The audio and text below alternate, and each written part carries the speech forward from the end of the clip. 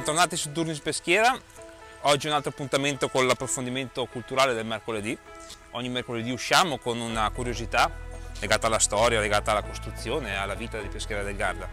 E oggi siamo qua, siamo sul bastione Tognon, un bastione che come vedete ha una struttura molto possente, vedete il saliente che sale proprio qua, un saliente in marmo, in marmo rosso Verona che sale fino alla sommità e proprio nella sommità vedete c'è un'edicola. Questa edicola porta al suo interno l'effigie del leone marciano ovvero leone di San Marco simbolo della Serenissima Repubblica che proprio qui nel XVI secolo costruì questa fortezza pentagonale che come sapete ormai per tutti voi che ci seguite è una fortezza diventata patrimonio mondiale dell'umanità giusto a luglio del 2017 quindi oggi approfondiamo questo bastione con qualche curiosità più che altro legata a questo libro che ormai sta diventando inseparabile perché veramente qui si racconta con una rassegna fotografica veramente d'eccellenza la storia di Peschiera. E noi siamo qua, siamo alla demolizione di questo bastione che se noi avessimo potuto fare un salto indietro nel tempo di oltre un secolo fa l'avremmo visto continuare proprio davanti a me fino contro al bastione Querini che abbiamo visto la volta scorsa, l'avremmo visto continuare là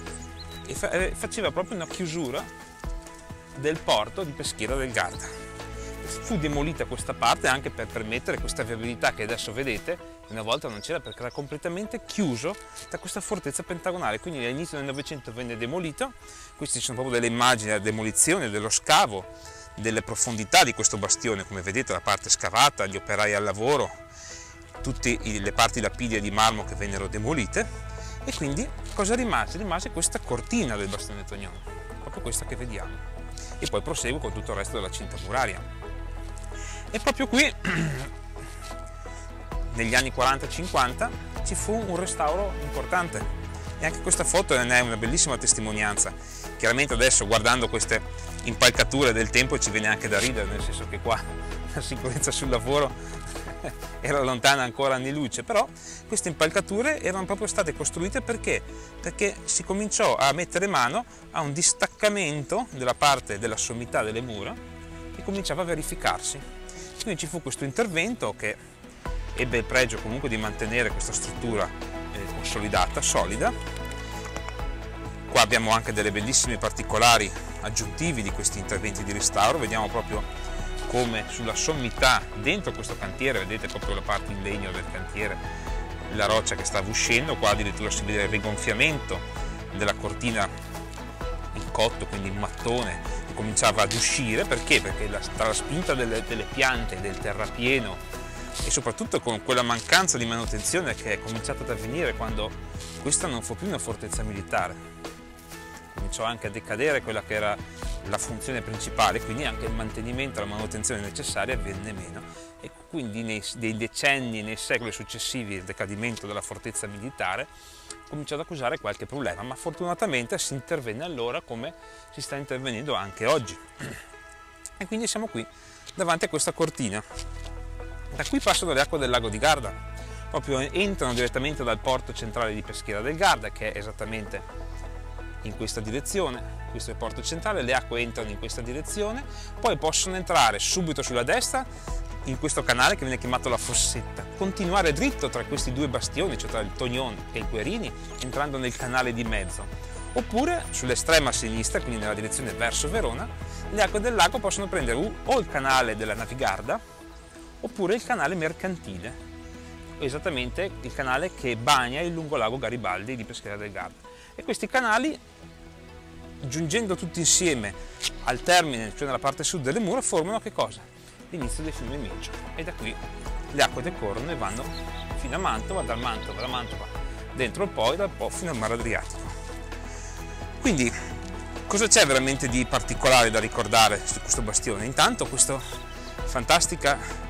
effigie marciana che veramente è rimasta come la lasciò Napoleone come la lasciò all'esercito francese dopo il trattato di Campoformio del 1797 che sancì di fatto la fine della Serenissima Repubblica di Venezia e di conseguenza cosa successe? Ci fu un editto che prevedeva che tutti i leoni marciano, simbolo proprio di questa potenza marittima e terrestre, che era la Serenissima Repubblica, venissero distrutti e quindi fondamentalmente vennero scalpellati o completamente rimossi, addirittura triturati, distrutti, ridotti in polvere, come quello di Porta Verona, di cui non c'è rimasta nemmeno traccia.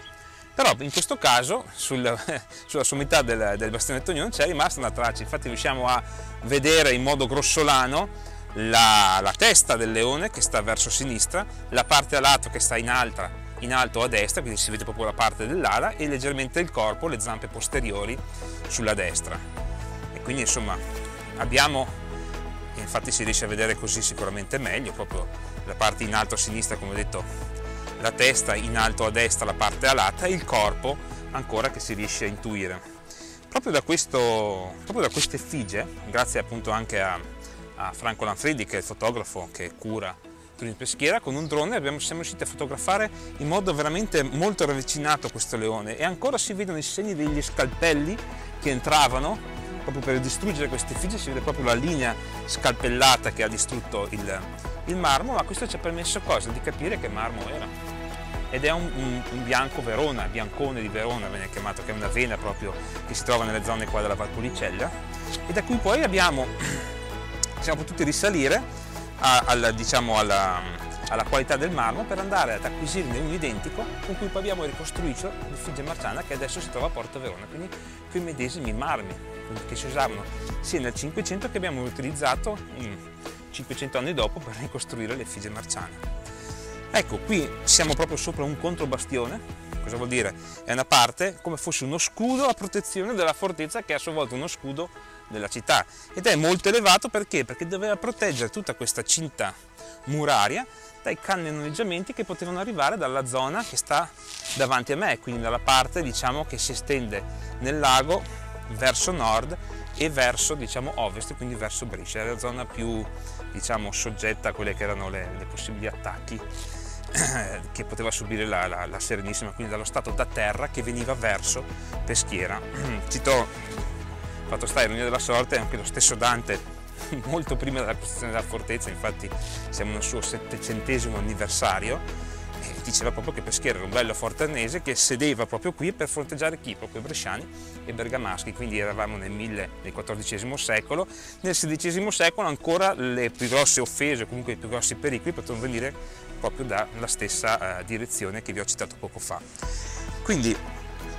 andiamo a concludere questo piccolo approfondimento vi consiglio se vorrete venire a trovarci e fare un giro a Peschiera del Garda, proprio qui davanti a me ci sono i parcheggi più capienti di Peschiera, quindi la zona di Porta Brescia e il campo sportivo dove abbiamo parcheggi con eh, centinaia di posti anche gratuiti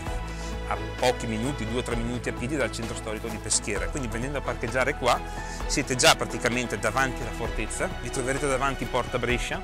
questa bellissima porta monumentale d'accesso alla fortezza e sulla vostra sinistra troverete proprio il punto in cui siamo da cui si può fare una passeggiata veramente piacevole, comoda,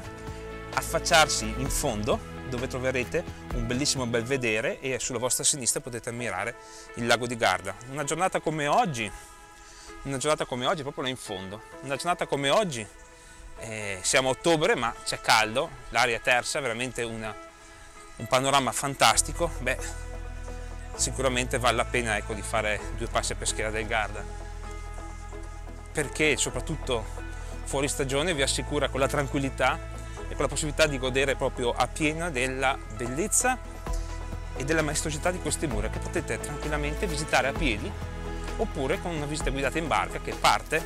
nei weekend dal canale di mezzo nella piazzetta che si chiama Piazzetta San Marco. Adesso vi lascio con questo piccolo tour, potete vedere la fine di questa passeggiata sul contro Bastione Tognon e vi lascio con il lago di Garda. Ci vediamo il prossimo mercoledì.